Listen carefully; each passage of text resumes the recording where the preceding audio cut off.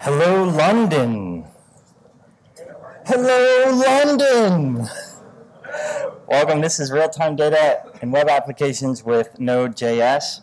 Uh, thank you all for coming, but before I get started, I do need to let everyone know that I've gone ahead and updated my privacy policy because I respect your data.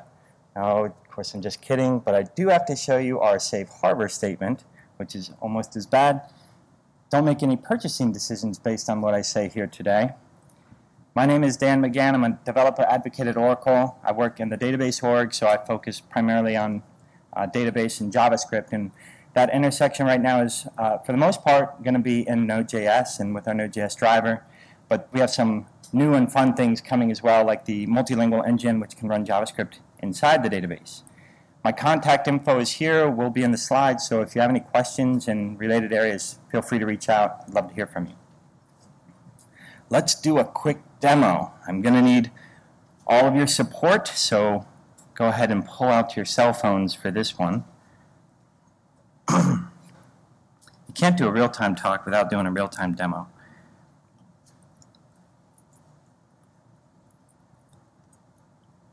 So I'm just getting connected to a server here. And we'll start up an app. There it is. And then I will go to a URL. Now I'm going to give you this URL in a second. If you can see it just fine and you want to go to it ahead of time, that's all right. But I'll give you a shortened URL in a moment. What this app is, is a listing of cities. I just went online and I looked up for a list of cities that are just doing awesome these days. And this is what I came up with. There's 20 cities in here. Unfortunately, London didn't make the cut, nor did New York City, where I'm from. So I went ahead and deleted one from Germany and one from Canada, and I inserted London and New York City as they should be, right? So what you see on the left is the current ranking. Right now, everybody's tied for first because there are no votes cast.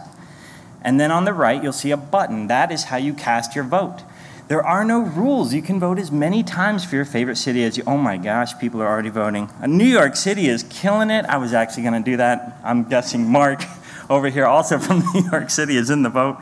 At any rate, you still have a chance to. Oh, here comes London. At any rate, okay, I'm going to move over here to the dashboard. Now, for folks that can't see the um, the URL here, you can just go to bit.ly slash rt-lon. And what you'll see here is the total votes submitted. Notice a smaller number here on the right. This is the number of updates pushed. And then we can see as the voting occurs, wow, New York City is still killing it. I'm assuming he's using a laptop. Everyone else is on cell phones. It's not quite fair. If I give it just a few more minutes, London comes online, I'm sure he can't last forever like this. Wow, actually, we have Stockholm, and oop, yep, you see, there it happened. And at this point, what I'll do, just to make sure it stays like that, I'll shut down the web server, and the real-time demo is done, and London has won. Woohoo! All right, so notice this number, 457. Notice this number, 36. That's an important concept I'm going to come back to uh, a little later in the talk.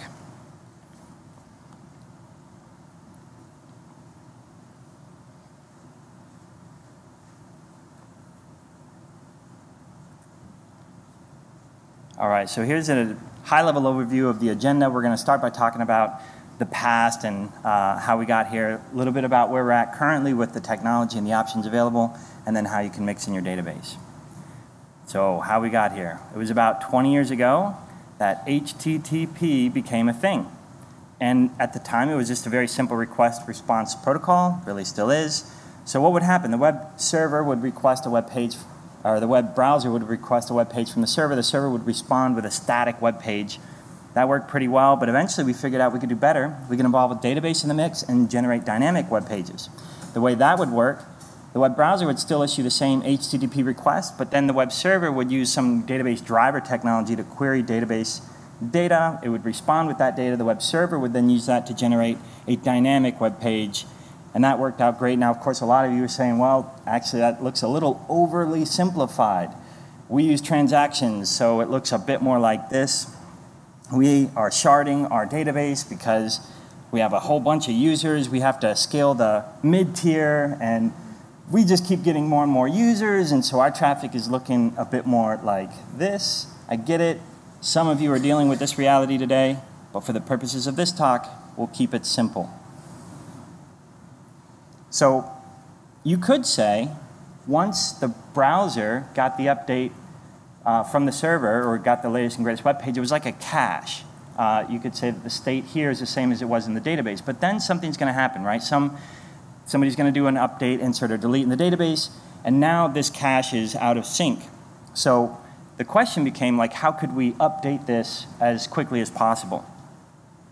Well, we have had for the longest time the ability to do communication from the database to the mid-tier. So that wasn't the problem. We could notify the web server that it was out of sync. The problem was here.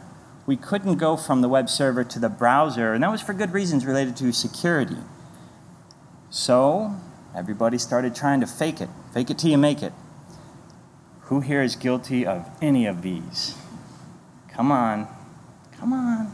You can admit it. I'm guilty of all of them. So the first one here, the forever frame, that one actually works all the way back to IE6. It's where you would put an, uh, a frame hidden inside the web page and you would use it to go get data and then proxy it back up to the parent page. Cool. But then we got Ajax who gave us Ajax? Anybody remember?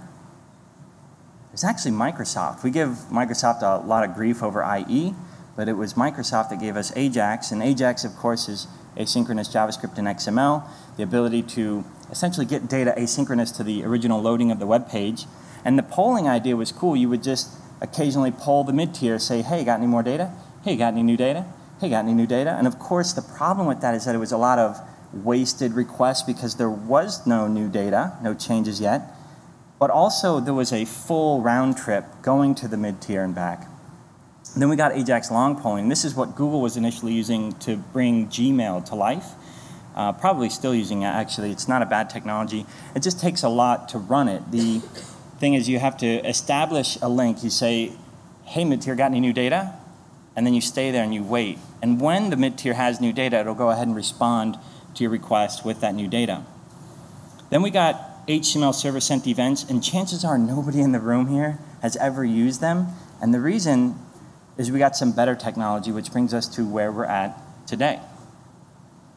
So some new technologies have emerged. The two that I like to talk about are WebSocket and WebRTC. WebRTC stands for real-time communication, and this being a real-time talk, you might think that I put that demo together using WebRTC, but in fact I didn't. We'll talk about that one first. WebRTC is all about establishing peers directly, so peer-to-peer -peer communication. This is uh, really great technology if you're doing streaming audio and video, some kind of chat or communication application, or arbitrary data like a video game where you want to reduce the latency as much as possible, so hooking peers up directly makes a lot of sense. The problem with WebRTC, and it's not the end of the world, but it does require what's known as a turn server to get the clients initially connected. Um, not too bad. WebSocket, on the other hand, is all about that bidirectional communication that wasn't possible previously with simple HTTP. What's great about WebSocket is that it works over HTTP, and if both the client and the server support the standard, then it can go ahead and upgrade uh, to WebSocket. Um, this is what I ended up using. It's, it's really all about just the server being able to broadcast or push out data to many clients. And for this particular use case or demo, it just made more sense. I didn't need to link you guys up directly. Here's the current support for WebRTC. Took this, this yesterday or the day before. What I tend to look at is this number up here in the upper right hand corner. So if you're not familiar with the site, this is caniuse.com. And if you're wondering, can I use this latest and greatest feature of some you know, JavaScript language or browser HTML5 feature, you can come here, you can search it, and you can get an idea of where the browser support is at. And what you're looking for is a lot of green. If you're not seeing a lot of green, you don't want to do it on the public internet. But if you're in a corporate environment where you know the browsers folks are using, then you can take some risks. So uh, what we see here is IE11, not supported at all. They'll probably never add support there, of course, because they've gone over to Edge. I tend to look at this number here. If it's not up to like 90%, I probably wouldn't risk it, but of course that may uh, not be the case for you if, if you're fine in a corporate environment. This is WebSocket support. You're seeing a whole lot more green here. In fact, the only ones, and they seem to not even try, is, is Opera Mini. So if you're worried about support for Opera Mini, maybe this isn't the technology for you, but as you can see here, it's well above 90% at this point. So I think it's a pretty safe technology to use. So here's WebSocket in a nutshell. Little JavaScript snippet. So we start by declaring a variable called socket. It's equal to a new instance of a WebSocket, and you just point the URL to your WebSocket server.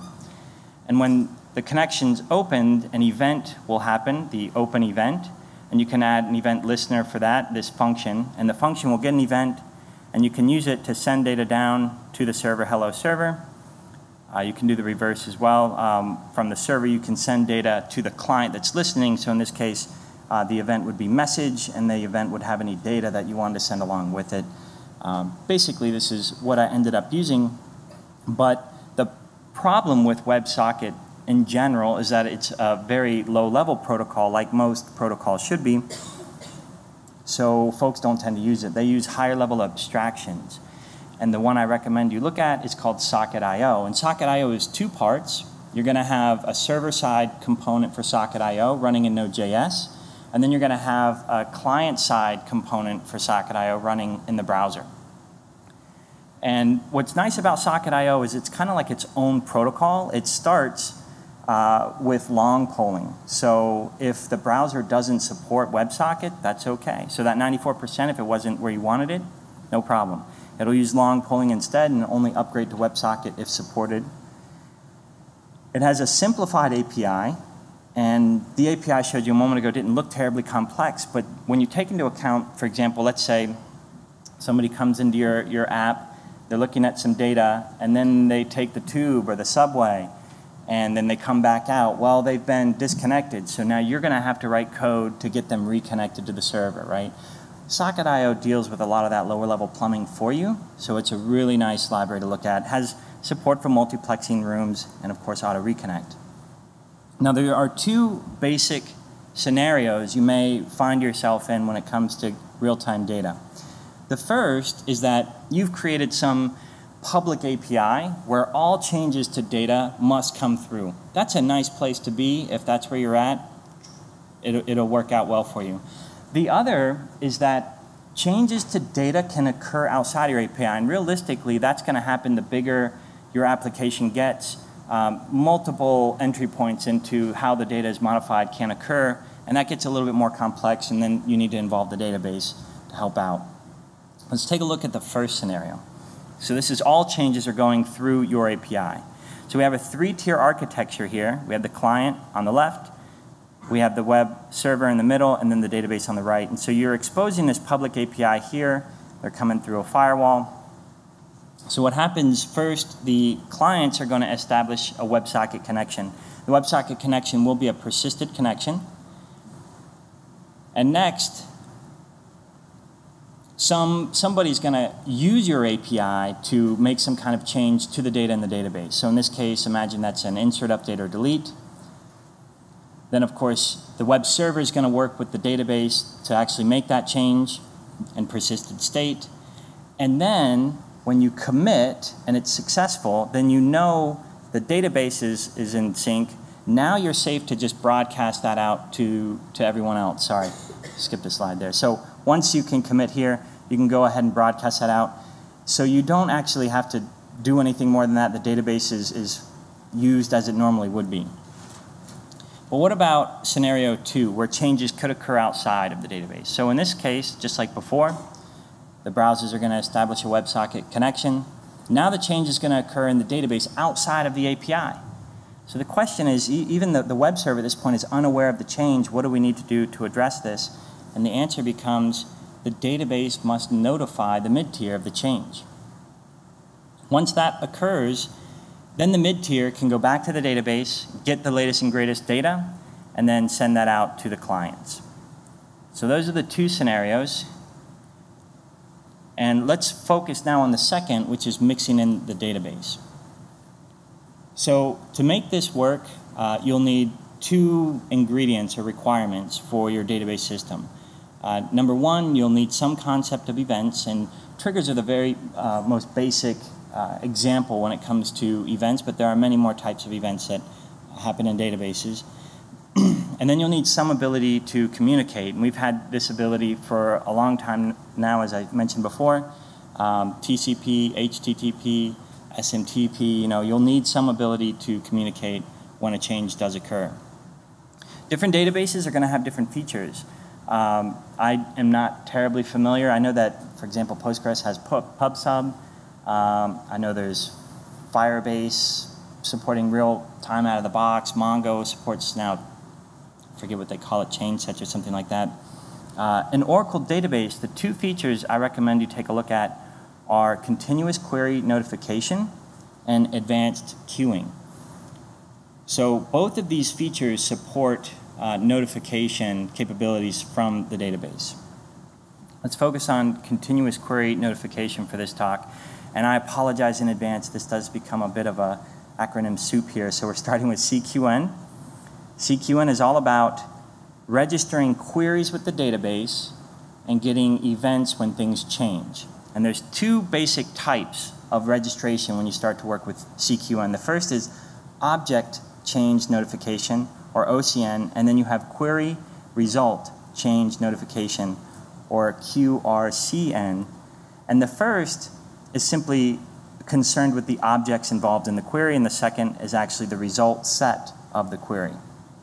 So let's compare the two. Imagine uh, we take this query and register this query for change notification. Note that we're just looking at department 10. So with OCN, what's going to happen, Oracle Database is going to parse the query, identify which objects are involved, in this case just a single table, employees, and so if we do an insert on a new row with department of 12 with OCN, would this generate a notification?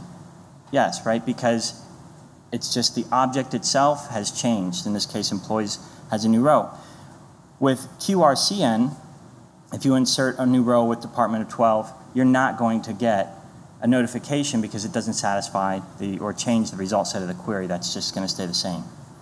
So those are the basic differences. If you do choose to use QRCN, it has two different modes. You have guaranteed and best effort. So guaranteed mode is all about preventing false positives. Um, you can consider this transaction here on the right where first maybe you're increasing salary by 10, then you're decreasing salary by 10, and then you commit.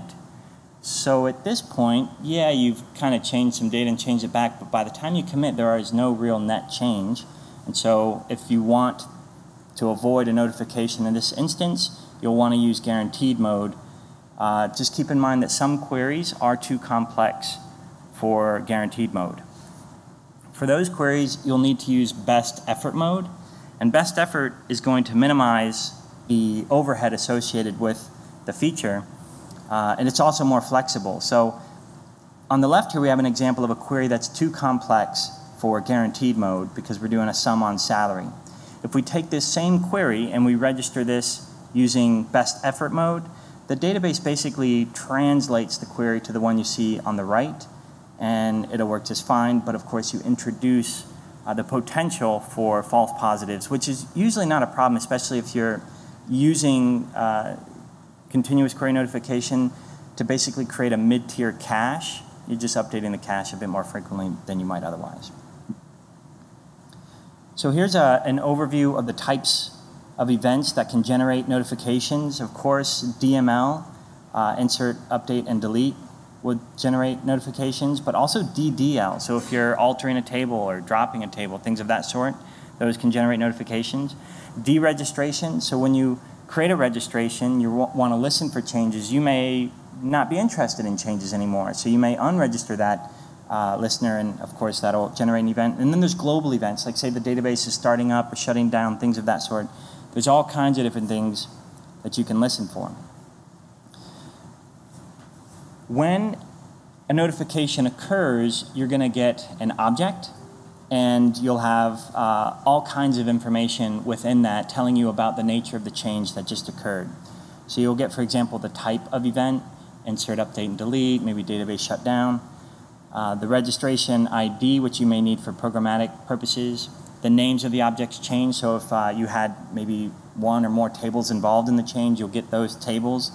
If you've asked for row IDs, if you said when you registered the, the listener, uh, I'm interested in row IDs, it will do its best to give those to you. And uh, so in addition to the names of the, the tables, you'll get the row IDs as well. And you can use those to go and get the latest data from those rows. Um, right, yep, that's pretty much it. All right, so I want to just show you what this looks like. Are there any Node developers here?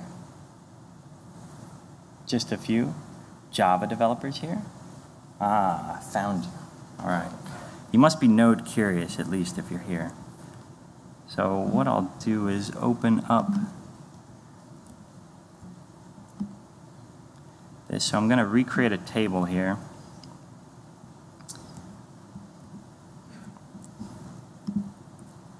And a local database. All right, so we now have an empty table, and I'm going to start this demo here after I walk you through it. So this is a very simple Node.js application. What I do at first, I require in the Oracle database driver for Node.js, and then second, I bring in a database configuration file. So normally, that database configuration file would just contain the username, password, and connect string information to get connected to the database. But in this case, if you want to use the CQN capabilities, you'll need to set this events flag to true. Oh, whoops, stay in here. All right. So we bring in that database configuration. And the next thing I do is I declare a function called run test, which you can see I'm invoking down below. So run test is going to use the driver to get a connection and then it's going to use the connections subscribe method to register a query with CQN. You have to give a name for your subscription, uh, which you can use then later as a reference to unsubscribe if needed. And then you provide a SQL query, in this case a really basic SQL query on the table I just created, which is now empty, and then a callback. Now the callback is just a JavaScript function, which we see below. And so every time a change occurs here in this query, this callback will be invoked and it will be passed a notification object, which I'm going to log out to just see the contents of that object. Let me kill the previous server.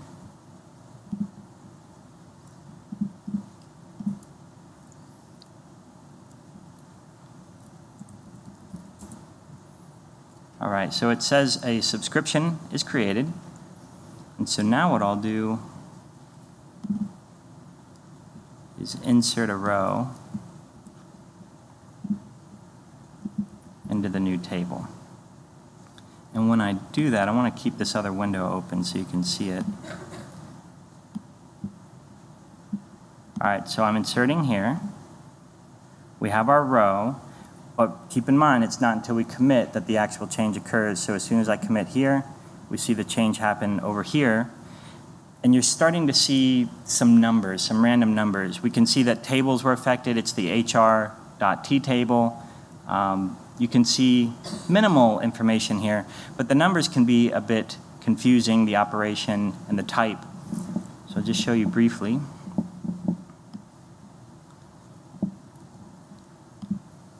And this is about 10 hours ago, the database driver team actually published this on GitHub. So this is actually in the wild now. It's not something that you can't go home and do today.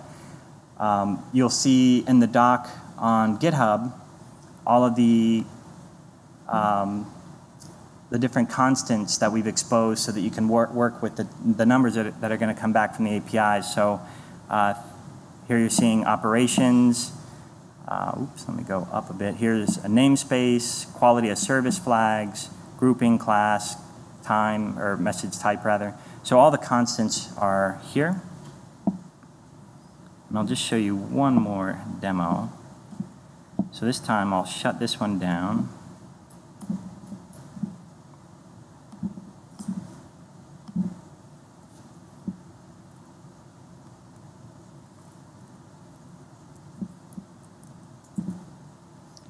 And start up number two. Actually, I should have walked you through that first. Let me do that. Right, so this one's rather similar to the first. Here's our run test, only this time when we get a subscription, same query, same basic callback, but now I'm using quality of service flags. In this case, I'm saying I want it to be query or the, the one that actually looks at the result of the query. So the default is going to be object change. If you want to upgrade that, you need to specify this flag. And I'm also telling it that I am, in fact, interested in row IDs. And this is a bitwise OR operator between the two. Technically, you could just use plus here, uh, but the C developers prefer it when I use the, the bitwise OR for some reason. At any rate, when the message comes in, because I've asked for more data, hopefully we'll get some, some row ID information. So um, the, the logging here is just a bit more complex to log that information out. So I'll come back to our table and I'll insert another row and another row and we'll commit that. And so what you're seeing here on the right is we're getting the row IDs of the rows that were changed. And of course we can delete the data out as well.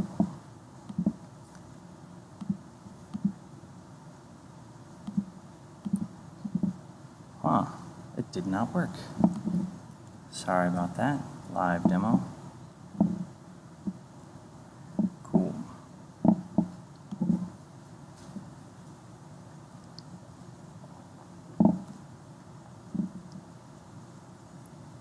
It's new functionality. All right, that's really it in a nutshell. Uh, this, as I mentioned, was released about 10 hours ago. Uh, so it is on GitHub now. I put some next steps up here, so if you're interested in learning more about CQN, this is to the doc on that particular feature. It's a rather robust feature. I'm just kind of touching the tip of the iceberg here. And also for the CQN uh, API, now in the Oracle Database Driver for Node.js, if you're interested in learning more about that, there's a link to that GitHub page as well. Are there any questions on this feature? Somebody's got to have a question. There's usually one person that's interested in the performance implications of this feature, right? Somebody had this question. So the truth is the, the, the doc actually says that this feature is best uh, used in the mid-tier caching scenario and for tables that are infrequently modified, infrequently in, in air quotes, because what does that really mean? Uh, it, it's kind of obtuse. So I've had folks come up to me after having done this talk in the past telling me they're using this feature in production with high OLTP transaction rates. Uh, so I think it really depends on a number of factors, including, of course, the kind of hardware that you have available. But at the end of the day, if you think back to the polling example, this is simply going to be uh, a better feature than just going to the database and asking it over and over, have there been any changes? So when you need the feature, it's there for you to leverage. Excellent question, thank you. any other questions?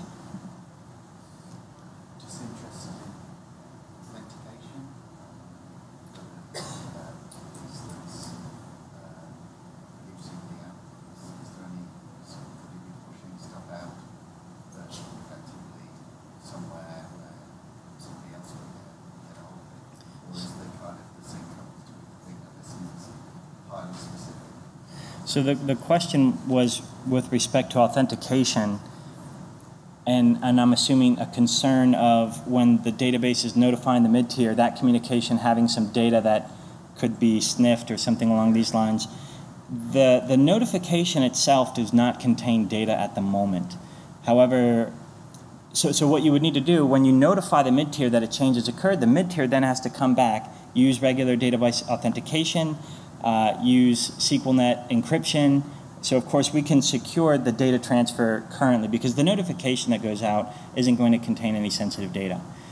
But we are considering, uh, you know, that additional round trip having to go back to the database to get the changes uh, is just overhead, right? Latency. So we're looking, exploring, I should say, options to uh, actually have the notification push data. And at that point, I think we'd have to consider uh, SQL*Net encryption or whatever we could use to encrypt that data. Thank you. Yes, sir. The API that you demoed clearly was a JavaScript API that's pretty consistent with the presentation, but are you considering any other ones? So the question was, are we considering support uh, for this feature in other languages? I should say that uh, this feature has been around since at least 10G. The actual query side has been around since 11G. Um, so object change since 10G, maybe even before, I'm not sure. Um, Java, if and, and a lot of hands went up for Java, Java has full support for this feature now for, for a long time.